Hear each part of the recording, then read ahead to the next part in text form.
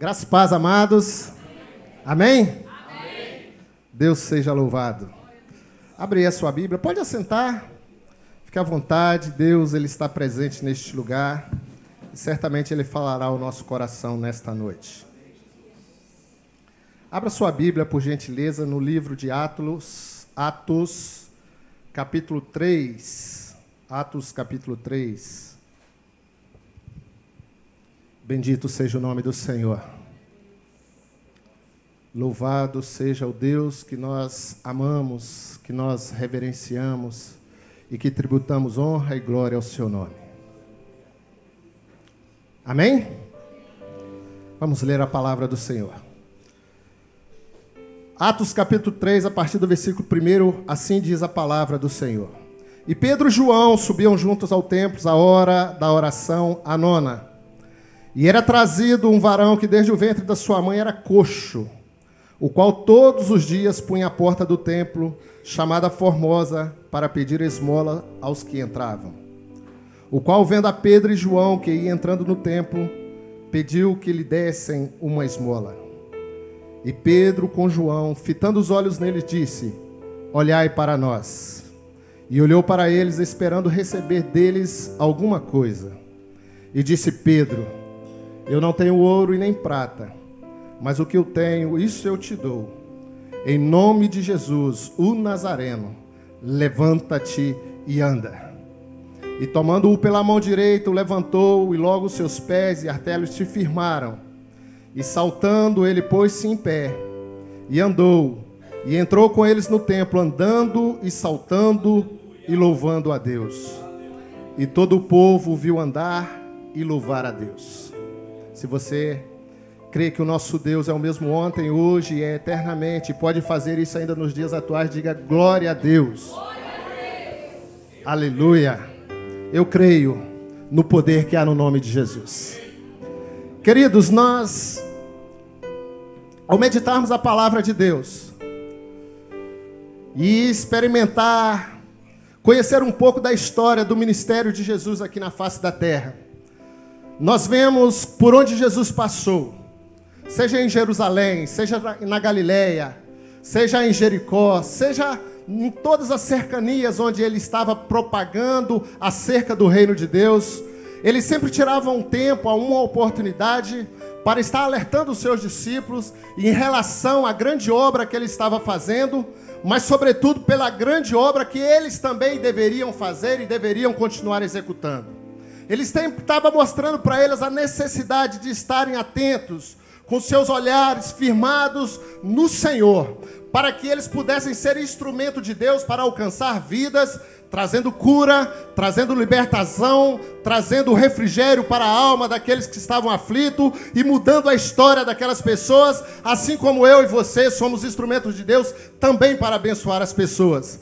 E o Senhor Jesus eh, lhes ensinando, lhes exortando, ensinava eles de maneira até mesmo pedagógica, certas caças ou certas manifestações demoníacas, era somente orar pelo poder do seu nome, mas algumas caças deveria é, ter um momento de jejum, um momento de oração mais acentuado, mas que eles sobre, sobressairiam porque o poder de Deus estava sobre a vida deles e coisas extraordinárias aconteceriam.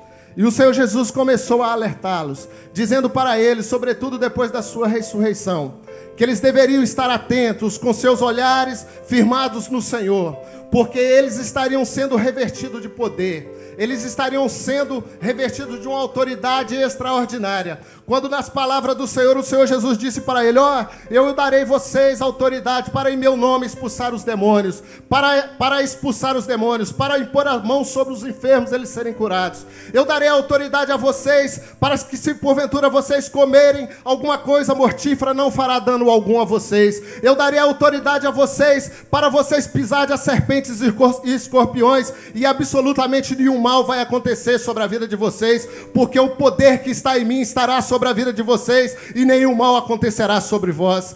Então nós vemos que o Senhor Jesus já estava preparando, já estava direcionando os seus discípulos para que eles pudessem começar a vivenciar a explosão de milagre, a explosão de, de, de, de, cura, a explosão de poder que estaria que estaria acontecendo através da sua jornada e do seu ministério aqui na face da terra.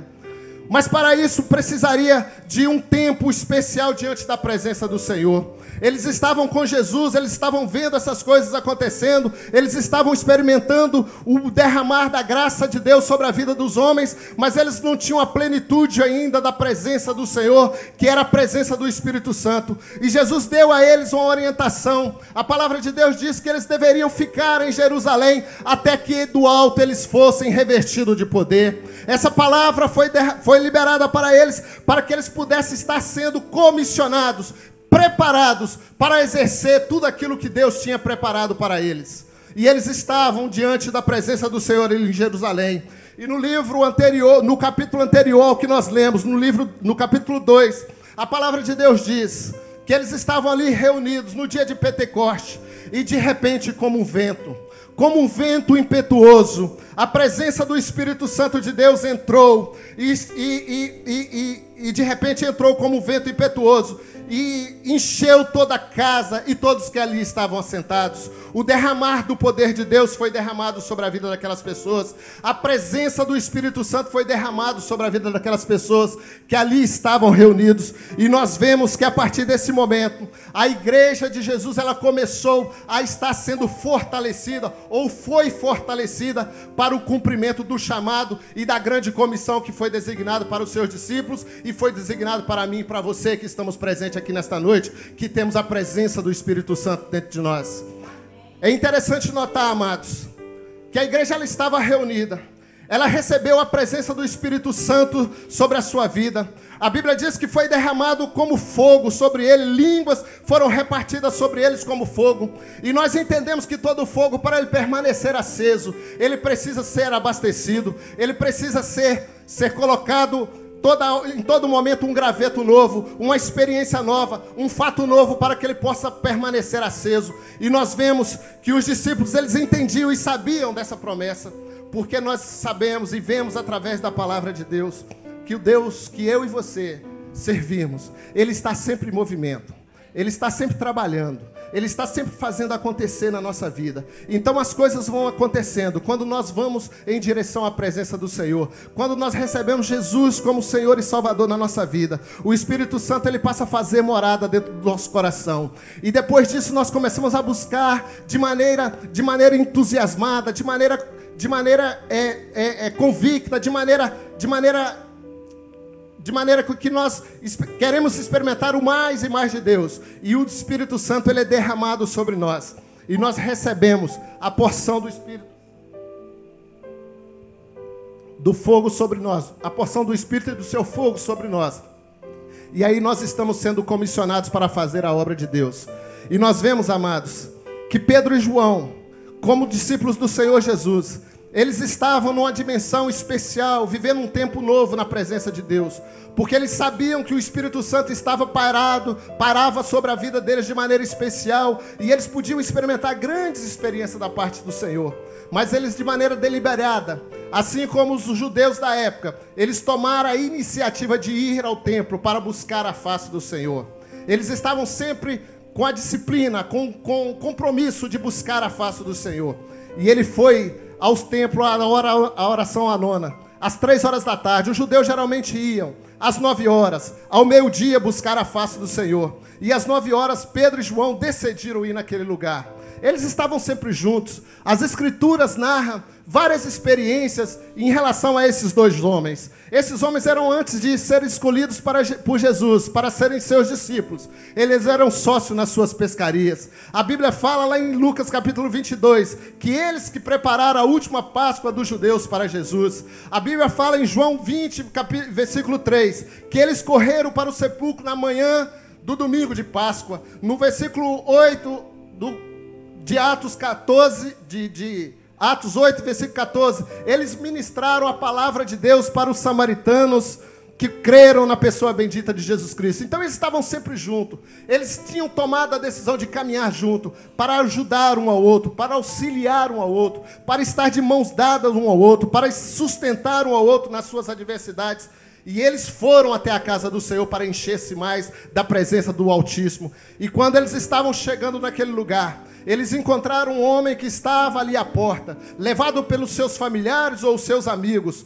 Esse homem ele era coxa há mais de 40 anos, há 40 anos. No capítulo 4, versículo 2 do livro de Atos, a Bíblia diz que esse homem tinha 40 anos. Segundo os historiadores, esse homem chamava Nicanor, e esse homem estava nessa posição ali diante do templo, de costa para o templo, mas de frente para a multidão, sempre com a expectativa de receber alguma coisa, de receber alguma esmola. Porque para nós, aqui vivemos aqui no Ocidente, às vezes a questão de dar esmola é algo que nós alimentamos um comércio de mendigância, às vezes, é, às vezes damos esmola simplesmente para fugir do importúnio ou da, da, da, da, atitude daquela pessoa de nos perturbar. Mas nós entendemos e nós cremos que, assim como aqueles discípulos que estavam ali, e como os judeus da sua época, a, a ajudar ao próximo era uma atitude de benevolência, era uma atitude de justiça, era uma atitude de amor. E esses homens mendigos, por não poderem entrar dentro do templo, eles ficavam na cercania,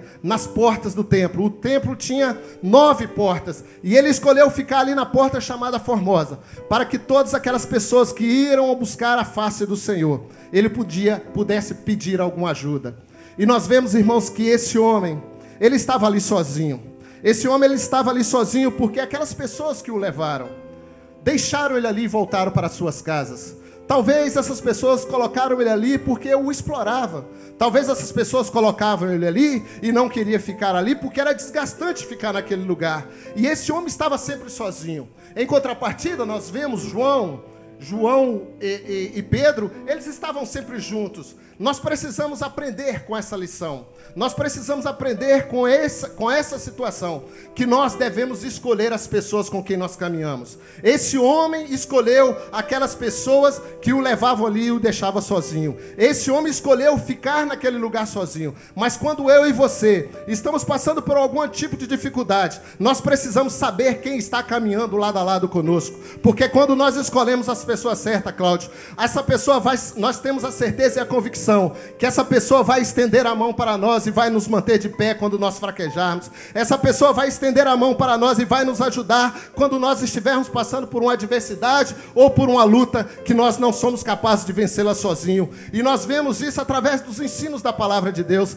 Lembra-se daqueles quatro jovens que estavam do lado daquele amigo que estava na maca, que estava doente na, numa cama. Aquele homem precisava, ouvindo falar que Jesus estava na cercania. Eles sabiam que eles poderiam ajudar o seu amigo. Esse homem só foi abençoado porque ele escolheu ter relacionamento e amizade com pessoas que o podiam ajudar. E esses homens pegaram aquele homem, venceram todas as adversidades, venceram a multidão, chegaram na casa onde Jesus estava, não conseguindo entrar. Eles não desistiram, não retrocederam, mas eles se colocaram disponível para continuar lutando, para continuar batalhando, para que o seu amigo conseguisse a vitória. E eles conseguiram entrar pelo telhado, apresentar aquele homem diante de Jesus, e Jesus liberou uma palavra de cura sobre a sua vida, e a sua vida a partir daquele dia nunca mais foi a mesma.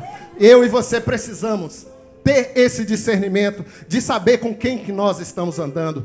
Porque, irmãos, a posição que nós definimos em relação à nossa vida, em relação às nossas escolhas, em relação às nossas decisões, elas determinarão aquilo que nós vamos viver nesse presente, nesse momento presente, e vão definir aquilo que nós vamos viver no nosso futuro, no nosso amanhã. Portanto, eu volto a repetir para você que a posição que nós nos colocamos diante da vida, ela vai definir ela vai definir o que nós viveremos no nosso presente e no nosso futuro. Eu e você precisamos estar atento a essas coisas. Por que isso, querido pregador? Por que esse contraste? Por que você coloca essa condição como uma decisão que eu preciso tomar neste momento? Eu quero apresentar simplesmente para você a questão de nós nos posicionarmos de maneira correta para que nós alcançamos o milagre. Porque nós só alcançaremos o milagre quando nós estivermos com o nosso olhar voltado para o céu. Nós temos que tirar o nosso olhar das coisas de uma forma horizontal e colocar o nosso olhar numa forma vertical. Nós devemos olhar para o Senhor porque de lá é que vem o nosso socorro. A palavra de Deus diz que o nosso socorro ele vem do Senhor, que fez os céus e a terra. E nós vemos nesse texto que nós acabamos de ler. Pedro e João, eles estavam firmes no seu coração com o desejo de buscar ao Senhor. E o coxo, ele estava firme no seu coração com o desejo de arrecadar um dinheiro para a sua subsistência. Só que a sua necessidade não eram as coisas dessa terra que a ferrugem pode consumir e que os ladrões podem roubar. Aquele homem precisava de algo mais, aquele homem precisava da cura para a sua vida. Só que os seus olhos estavam nas coisas, nas circunstâncias. Ele estava olhando somente aquilo que estava à sua volta. Ele estava olhando os transeuntes ali na porta do templo, esperando receber alguma coisa. E às vezes nós nos paramos, irmãos, e começamos a observar quais são as têm sido as nossas atitudes, quais que têm sido os nossos posicionamentos, e nós paramos para observar e às vezes nós chegamos à conclusão que nós estamos passando por adversidades e por lutas, porque a nossa posição não está segundo a vontade de Deus para as nossas vidas. E nós estamos aqui nesta noite porque Deus nos trouxe aqui para que nós sejamos alcançados pelo seu favor e pela sua graça, para que nós possamos nos portar de maneira que sejamos totalmente dependentes da sua misericórdia, dependentes do seu favor, dependentes da sua graça, porque quando nós fizermos isso, nos colocarmos na posição de recebermos o milagre, de recebermos a bênção, de buscarmos um relacionamento íntimo com ele, certamente ele vai rasgar o céu e vai derramar bênção sem medida sobre as nossas vidas e a nossa história nunca mais será a mesma porque Ele é um Deus que tem prazer em nos abençoar. Nós precisamos estar atento a essas coisas. Nós precisamos fazer aquilo que nós podemos fazer para chamar a atenção de Jesus. No capítulo 19 de, do Evangelho de segundo São Lucas, narra a história do homem chamado Zaqueu. Esse homem era um homem detestado pela, pela, pela comunidade da época. Era um homem que era que era criticado por todos, mas ele entendia que ele precisava de mudança na sua vida, e ele tomou uma atitude, ele tomou uma posição de ir conhecer e ver quem era Jesus, e esse homem se dirigiu a aonde para o caminho onde Jesus estava passando. E interessante notar, irmãos, que ele se despojou de toda vergonha, de tudo aquilo que poderia impedir dele ter um encontro maravilhoso com o Mestre. E isso serve para mim e para você, que às vezes nós não alcançamos o melhor de Deus para a nossa vida quando nós estamos aqui cultuando e louvando o nome do Senhor, porque nós estamos preocupados com quem está à nossa volta, quem está sentado do nosso lado, se a pessoa está nos observando, se os obreiros aqui na frente estão olhando para você. E esse homem, Zaqueu, ele dá a cada um de nós uma lição maravilhosa de que nós não devemos olhar para essas coisas, nós devemos olhar para o Senhor. E ele buscou o melhor lugar para que ele pudesse ver o Mestre, e ele se colocou não no meio da multidão, porque no seu entendimento ele não, não, não alcançaria a, a, a visualização do Mestre, e ele deu um passo a mais, ele não desistiu, ele foi perseverante, ele foi determinado, e ele colocou-se diante do Senhor porque ele foi para procurar Jesus. E quando ele estava naquela situação, em cima de uma árvore, ele foi encontrado por Jesus. Talvez você está aqui nesta noite e você precisa colocar numa posição onde o Senhor possa enxergar o seu coração e responder à necessidade da sua alma nesta noite. Talvez você entrou aqui neste lugar sedento de receber uma bênção especial da parte de Deus, tem enfrentado adversidades na sua vida, tem enfrentado dificuldades nos seus relacionamentos, tem enfrentado dificuldades no seu trabalho, tem enfrentado dificuldades em tantas áreas da sua vida que você tem mesmo pensado em desistir, mas Deus trouxe você aqui nesta noite para liberar uma palavra para você, para que você não venha desistir, mas que você procure se colocar na posição para que você possa receber o milagre da parte do Senhor. Aquele homem ele estava próximo à porta para receber a esmola, para receber a ajuda, mas Deus ele sempre está trabalhando, ele sempre está se movimentando para alcançar aqueles que precisam de um grande milagre. E você talvez esteja aqui nesta hora com a sua cabeça lá do lado de fora. Fisicamente você está dentro do templo ou na porta do templo, mas com as suas emoções, com seus pensamentos, com as suas indagações lá do lado de fora. Eu quero desafiar você, volte-se para o Senhor aqui dentro nesta noite, clame a Ele e Ele responderá ao desejo do seu coração, porque a palavra de Deus diz que aquele que busca encontra, aquele que procura acha. E aquele que abre a porta se abre. A palavra de Deus diz: Buscar-me-eis e me achareis quando me buscarde de todo o vosso coração. Se você abrir os seus lábios nesta hora e dizer para o Senhor: Senhor, eu estou aqui, venha em meu socorro, venha em meu socorro, certamente o Senhor vai responder a sua oração nesta noite. Quem crê nisso, aplauda o Senhor e diga: Senhor, eu estou aqui, pode me abençoar.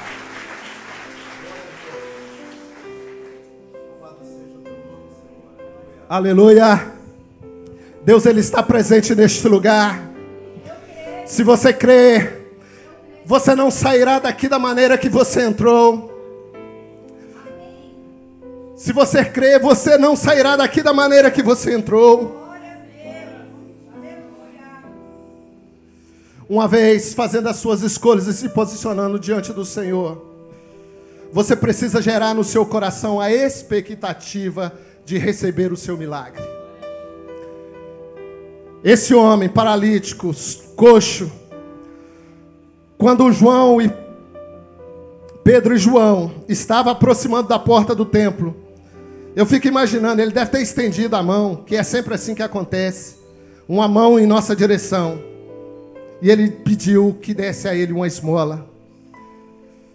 E o homem, uma mulher de Deus, que tem compaixão no seu coração, que anda como Jesus andou, que age como Jesus agiu. Todas as vezes que Jesus ele encontrava alguém em alguma adversidade, a Bíblia diz que Jesus movido de íntima compaixão. Porque o amor de Deus, ele transcende tudo aquilo que nós podemos imaginar. Quando nós estamos caminhando, nós vemos situações que nós somos impelidos a fazer, a agir, porque o amor de Deus está dentro de nós. E esses homens, eles estavam movidos pelo amor de Deus. Eles estavam caminhando ao tempo para buscar a face de Deus, para conhecer mais do Senhor, para ser mais incendiados pela presença do Senhor. Mas eles foram indagados por uma pessoa que estava precisando de ajuda. E a Bíblia diz que Pedro e João, fitando os olhos naquele homem, olhando para aquele homem, disse para ele: Olha para nós, olha para nós. E eu pergunto a você, como homem e mulher de Deus nesta noite, quando as pessoas nos, nos se aproximarem de mim e de você, e nós dissermos para ela: olhe para mim, o que eles verão em nós? O que eles verão nos nossos olhos? O que eles verão nas nossas mãos? Porque eu e você fomos chamados, assim como o apóstolo Paulo diz, nós fomos chamados para sermos imitadores de Cristo. Eu e você fomos comprados com precioso sangue. Eu e você temos o nosso nome escrito no livro da vida. Então nós temos a, a, o dever e a obrigação de continuar propagando essa mensagem tão poderosa, tão transformadora que esses homens estavam pregando. E eles disseram para este homem: Olha para nós. E ele olhou para aqueles homens. O coxo olhou para aqueles homens. E talvez Jesus está dizendo para você: Olha para mim, meu filho. O que queres que eu te faça? O que tu precisas nesta noite? Feche os seus olhos. A presença de Deus, ela está neste lugar. O pastor Cláudio, com muita propriedade e autoridade, ele falou que não precisa esperar o momento do culto para nós orarmos e Deus começar a fazer. Eu creio que Deus ele está tocando aí na sua vida. Se você crê o nódulo que está no seu seio, ele está sendo arrancado pelo poder do nome de Jesus. As suas pernas que estão inchadas, que tem feito você caminhar com muitas dores por causa da sua, da sua circulação, Deus está tocando aí nesta hora. Você não precisa esperar o final do culto para Deus curar e cicatrizar essa dor que você está sentindo na sua alma, por uma palavra que foi liberada de maldição sobre a sua vida. Mas se alegre no Senhor, porque o nosso Deus é especialista para transformar maldição em bênção. Para transformar maldição em bênção. E a vitória do Senhor estará estabelecida na sua vida nesta noite. Crie a expectativa no seu coração de que Deus ele está passeando no nosso meio. Crie a expectativa no nosso coração que o Senhor Jesus ele está tocando em você. para que você possa receber aquilo que você precisa, não aquilo que você quer. O coxo, ele queria receber esmola, mas ele precisava receber a cura para si. E Pedro e João disse para ele: "Ora para nós". E ele olhou esperando receber deles alguma coisa, e Pedro disse: Eu não tenho ouro, eu não tenho prata, mas o que tenho, isso te dou, em nome de Jesus o Cristo, o Nazareno. Levanta-te e anda. Nós precisamos ter a expectativa de recebermos o melhor de Deus. Aquele homem achou que a história dele era mais um dia simplesmente de receber as suas esmolas. Mas aqueles homens tinham a expectativa de ser instrumentos de Deus e conhecer mais a Deus, e foram até o templo e foram usados pelo Senhor para liberar uma palavra de vitória sobre a vida daquele homem. Para que eu e você possamos receber milagres da parte de Deus, precisamos nos posicionar diante do Senhor e precisamos gerar no nosso coração a expectativa do milagre. No Evangelho de segundo São Lucas, no capítulo 3, a partir do versículo 10, narra a história de uma mulher que há 12 anos ela sofria com um fluxo de sangue terrível. Ela já tinha gastado todos os seus bens, toda a sua riqueza, todos, todos os seus pertences, em busca da cura, em busca da solução do seu problema. E às vezes nós fazemos isso na nossa vida, nós lutamos com a força do nosso braço, nós pedimos ajuda aos nossos familiares, nós pedimos ajuda aos nossos amigos, nós pedimos ajuda às pessoas que podem nos auxiliar, mas nós não conseguimos vencer, porque a luta, as aprovações, as dificuldades da nossa vida, que nós não venceremos através das nossas forças. Há dificuldades e lutas da nossa vida que nós só venceremos quando a virtude do Senhor Jesus for liberada sobre nós. E essa mulher, ela estava num, numa situação terrível, sofrendo, sendo humilhada, padecendo necessidades, mas ela gerou no seu coração uma expectativa de que Jesus, ao ouvir falar de que Jesus ela estava passando, ela gerou no seu coração a expectativa de que se ela tão somente tocasse na orla de Jesus, dos vestidos de Jesus, ela seria curada. E aquela mulher, deliberadamente, com coragem, com ousadia, com perseverança, com convicção e com expectativa de que o milagre ia acontecer na sua vida. Ela deu um passo em direção a tocar-se nas vestes de Jesus. E eu e você, meu amado, nós precisamos ter essa expectativa e todos esses atributos e esses adjetivos que eu falei em relação a essa mulher. Às vezes nós estamos enfrentando dificuldades, mas nós não temos atitudes em direção ao Mestre. Às vezes nós estamos enfrentando dificuldades, mas nós não temos ousadias para entrar diante da presença do Senhor e invocar o um milagre para a nossa história. Às vezes nós estamos enfrentando adversidade, mas nós não queremos sair da nossa zona de conforto. Aquela mulher, ela decididamente, ela saiu da sua zona de conforto, ela enfrentou os riscos que ela poderia sofrer de ser penalizada por ser uma mulher impura e ser castigada. Mas ela decidiu no seu coração: eu vou sair.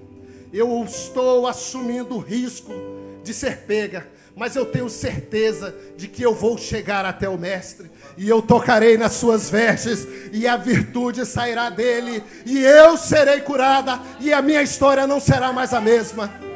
Se você crê, você pode tocar nas vestes do vestido de Jesus nesta noite pela fé e haverá virtude liberada sobre a sua vida, e a necessidade que você precisa da parte de Deus, você alcançará para a glória e o louvor do santo nome de Jesus.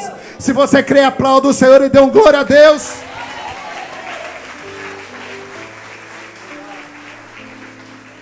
É sempre com expectativa que nós alcançamos o milagre.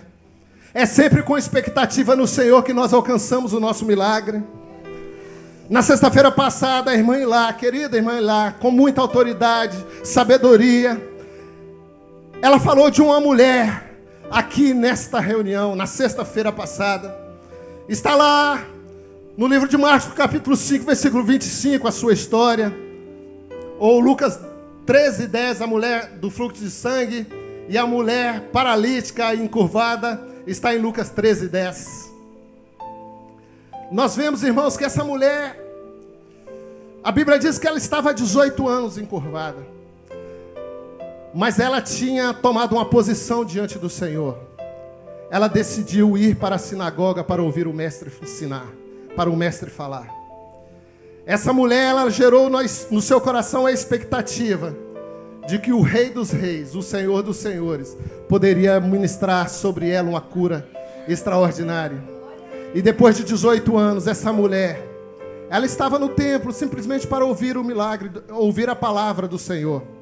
E Jesus a viu lá no meio da multidão, lá no meio da multidão, e liberou uma palavra de cura sobre a sua vida. Você está aqui nesta noite, e Jesus está olhando para o seu coração. Você está aqui nesta noite. E Jesus ele está olhando para o seu coração. Os irmãos mais antigos eles conhecem o corinho que diz: "Conte para ele a sua dor". Eu falei isso aqui há pouco tempo, eu estava ministrando, eu lembrei desse corinho, eu lembrei dele novamente. Conte para ele o seu problema, conte para ele a sua dor. Porque ele está aqui nesta noite. E quando nós clamamos, o Senhor ele ouve. Lembra-se do cego à beira do caminho? A multidão comprimindo Jesus, ele estava sofrendo terrivelmente, mas ele decidiu no seu coração aclamar. E ele abriu a sua boca e clamou: Jesus, filho de Davi, tem misericórdia de mim. Jesus, filho de Davi, tem misericórdia de mim. Jesus, oh, cego, para de gritar, você está importunando, você está incomodando o mestre, e ele dizia: Jesus, filho de Davi, tem misericórdia de mim. Você pode falar para o Senhor nesta noite, pode incomodar o seu irmão que está do teu lado, porque ele está aqui para ouvir aquilo que você precisa dele. Você precisa estar posicionado para receber o milagre de Deus. Você precisa estar com a expectativa no seu coração para receber o milagre de Deus. Aquele, aquele coxo recebeu a palavra: Não tenho ouro nem prata, mas o que tenho, isso te dou, em nome de Jesus o Nazareno. Levanta-te e anda. Ele não levantou, mas Pedro e João estendeu a mão e o colocou de pé. E ele saiu andando, e ele entrou pelo templo, um lugar onde ele nunca tinha ido. E ele entrou pelo templo, saltando e louvando o nome do Senhor. Ele reconheceu que o poder do nome de Jesus, ele despedaça o jugo. O poder de Jesus, ele despedaça o jugo sobre a sua vida. Você precisa reconhecer que o poder de Jesus é poderoso para desfazer todo o jugo que está sobre a sua vida. Você precisa entender que o próprio Jesus nos dá essa advertência, ou essa, essa recomendação. Lá no livro de Mateus, capítulo 11, versículo 28, quando ele diz: Vinde a mim todos que estáis cansados e sobrecarregados, e eu vos aliviarei. Tomai sobre vós o meu jugo que é suave, e o meu fardo que é leve. Porque fazendo isso, vocês encontrarão descanso para vossas almas. Você quer descanso para a sua alma nesta noite? Reconheça que o Deus que está presente neste lugar e tem poder para quebrar todo jugo sobre a sua vida, está presente neste lugar. Esse homem, ele mudou. Um simples gesto dele olhar para aqueles dois homens de Deus e gerar no seu coração a expectativa de receber alguma coisa. Ele recebeu muito mais daquilo que ele esperava. Ele recebeu a cura para a sua alma. Ele recebeu a libertação para ele recebeu a cura para a sua enfermidade. Ele recebeu libertação para a sua alma. E ele entrou no templo louvando, andando e saltando e louvando a Deus. E todos aqueles que estavam ali presentes viram ele andar e louvar a Deus. O que, que eu aprendo com isso e o que eu libero sobre a vida, a sua vida nesta noite?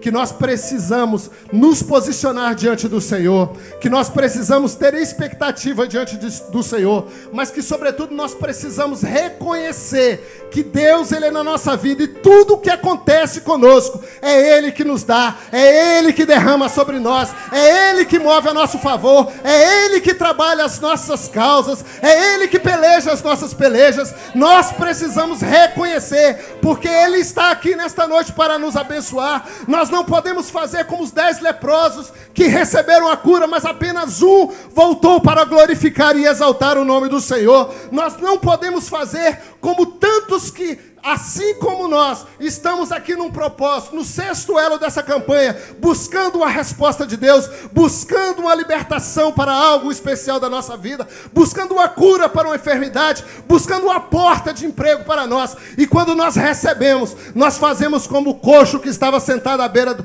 na porta do templo, viramos as costas para o templo, não nos importamos com o Senhor e começamos a buscar a nossa jornada e seguir o nosso caminho, sem viver uma vida diante da presença do Senhor. E quando nós assustamos, tudo desmoronou na nossa vida, tudo tudo que nós conquistamos, nós acabamos perdendo, porque nós não reconhecemos que tudo que nós temos, tudo que nós recebemos, tudo que nós conquistamos, tudo que nós buscamos, vem dele, é por ele, é para ele, é para a sua glória. Aleluia! O Deus que eu e você servimos ele é poderoso para fazer coisas extraordinárias na nossa vida. A palavra de Deus diz que Ele é poderoso para fazer infinitamente mais do que nós pedimos ou pensamos, segundo o seu poder que opera em nós. E esse poder que opera em nós é o poder do nome de Jesus, que quebra todo jugo. Coloquemos de pé. Feche os seus olhos. Deus ele está presente neste lugar. Não se deixe distrair por quem está ao teu lado e olhe para o Senhor. Se posicione diante da presença daquele que pode todas as coisas. Crie no seu coração a expectativa daquilo que você precisa receber da parte do Senhor.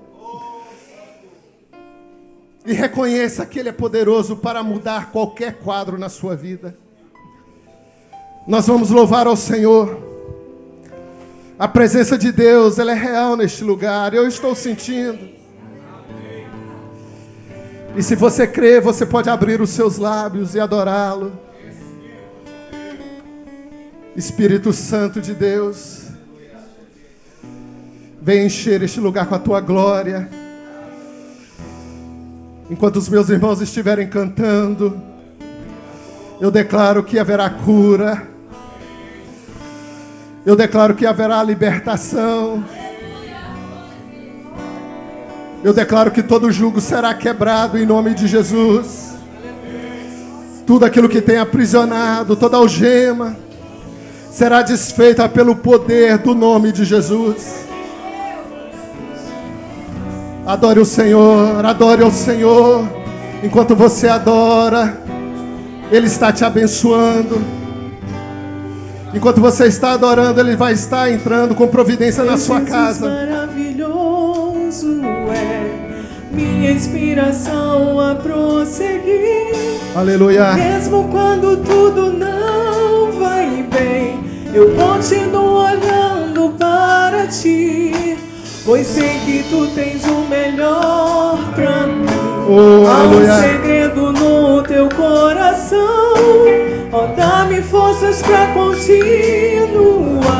Guardando a promessa em oração. Filho, Deus está o meu coração. Firme nas promessas do creia, Senhor. Creia, creia, Eu continuo olhando para ti. A palavra de Deus ela não assim falha. Eu sei que posso prosseguir. E mesmo quando eu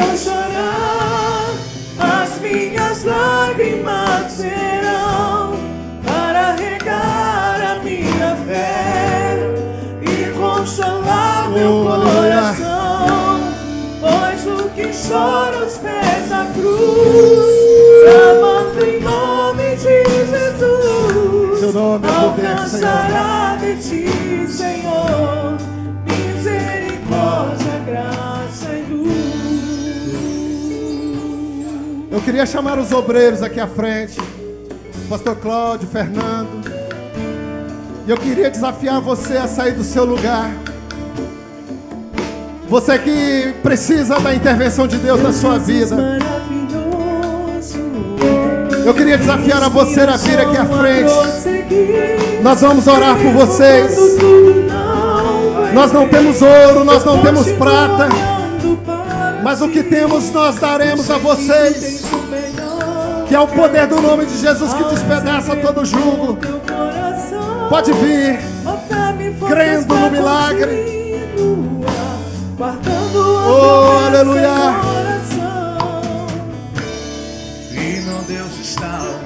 Deus, Ele está presente neste lugar. nas promessas do Senhor, eu continuo olhando para Espírito ti. Santo de Deus. E assim eu sei que posso prosseguir. Oh, Espírito mesmo Santo. quando eu chorar, as minhas lágrimas serão para regar a minha fé. Espírito e Santo. consolar meu coração. Pois os que choram aos pés da cruz, amando em nome de Jesus, alcançará de ti, Senhor, misericórdia. Aleluia. De amor não cessa. Aleluia. Quão grande és tu, Senhor. Quão grande és pra mim. Tua graça é o meu refúgio. Descanso no teu poder.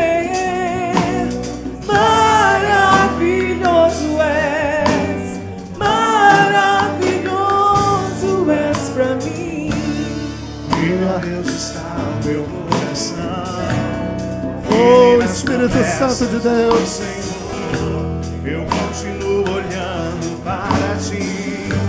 E assim eu sei que posso prosseguir. E mesmo quando eu chorar, as minhas lágrimas serão para regar a minha fé e consolar meu coração. Pois o que chora aos pés da cruz, Aleluia. amando em nome de Jesus, alcançará de ti, Senhor, misericórdia, graça e luz. Bendito seja o nome do Senhor. Feche os seus olhos. Em nome de Jesus Cristo. Pai, aquele homem foi ali mendigar. Foi ali com um propósito, mas o Senhor tinha um novo propósito na vida daquele homem. O Senhor tem propósitos novos na vida de pessoas aqui. O Senhor tem planos maravilhosos. E em nome de Jesus Cristo, nessa noite, o Senhor é o Deus que muda a vida. O Senhor é o Deus que muda a trajetória da nossa vida. O Senhor mudou a trajetória da vida daquele homem. Aquele homem desejava entrar no templo e não podia. Há desejos aqui nessa noite, sendo bloqueados, sendo paralisados. E em nome de Jesus, nessa noite, nós desbloqueamos, nós cortamos, nós quebramos, debaixo da autoridade do nome de Jesus, tudo que limita a tua vida, tudo que limita você a ter uma vida de fé. Toca, Senhor, na vida desta mulher, toca na vida desse homem, toca na vida dessa adolescente, toca na vida desse jovem, que a trajetória da vida dele e dela seja mudada agora, em nome de Jesus Cristo. Há um Deus que muda, há um Deus que toca toda enfermidade, toda maldição, toda obra do inferno que se levantou na tua vida. Jesus está aqui para tocar na tua vida, Ele está aqui para liberar uma palavra poderosa sobre a tua vida. Aqueles homens olhando para aquele homem disse: Eu não tenho ouro, eu não tenho prata, mas o que eu tenho eu libero sobre a tua vida. Nós liberamos sobre a tua vida a unção do Senhor que quebra todo jugo, a unção do Senhor sobre o teu casamento, a unção do Senhor sobre a tua vida sentimental, a unção do Senhor sobre a tua área financeira. Deus toca agora. Toca agora, Senhor, e muda. Toca agora e destrói toda algema de Satanás. Seja quebrada, Em nome de Jesus Cristo agora. Uma palavra, meu Deus, na vida daquele homem. Ele era coxo desde o vento. Quantas pessoas sofrem, meu Deus, há quanto tempo? Quanto tempo de sofrimento. Mas naquele dia chegou o dia da vitória. Hoje é o dia da vitória na tua vida, meu irmão. Hoje é o dia da vitória na tua vida, minha irmã. Hoje é o dia da vitória do Senhor do teu lar, na tua família. Ele está aqui para liberar a bênção na tua vida. Ele está aqui para liberar o milagre. Libera o milagre agora, Senhor. Libera a cura agora. Libera a restauração agora. Nós liberamos sobre a tua vida a unção do Senhor. Liberamos sobre a tua vida o toque do Espírito Santo. Liberamos sobre a tua vida toda a libertação que você necessita. Seja curado agora. Seja liberto agora. Receba o teu milagre agora. No poder do nome de Jesus. Levanta a tua mão e diz: Nessa noite, eu creio que o Senhor tocou na minha vida. E a partir de hoje, eu sou uma pessoa transformada, restaurada. Eu declaro sobre o meu corpo, em todas as áreas, a cura do Senhor, a libertação do Senhor. Eu declaro sobre a minha família, sobre cada um da minha casa, que o poder do Senhor estão sobre eles. E a partir de hoje, a mudança acontecerá. O poder do Senhor alcançará a minha vida, a minha família e tudo que está ligado a mim.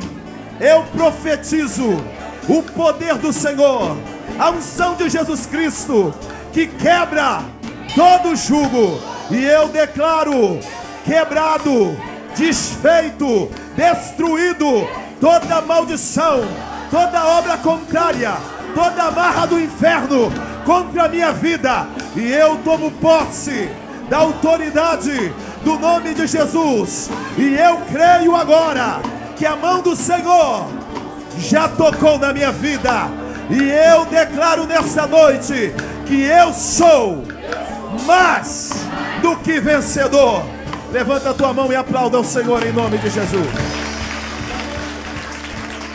Se é para o Senhor é mais forte. Aleluia! Aleluia! Aleluia!